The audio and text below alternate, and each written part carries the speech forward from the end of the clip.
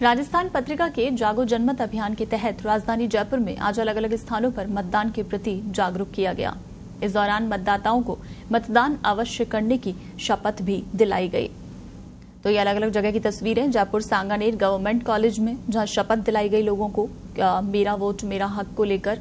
इधर जयपुर के आदर्श नगर में भी लोग शपथ लेते नज़र आए। Sindhi camp Jaipur, Tonk road Pratap Nagar colony Shri Gopal Nagar में भी। तो पत्रिका का जागो जनमत अभियान, जहाँ लोगों को जगाने की यानी जागृत करने की कोशिश की जा रही है कि अपने वोट को लेकर दृढ़ संकल्पित रहें कि वोट डालना लोकतंत्र में बेहद ज़रूरी है।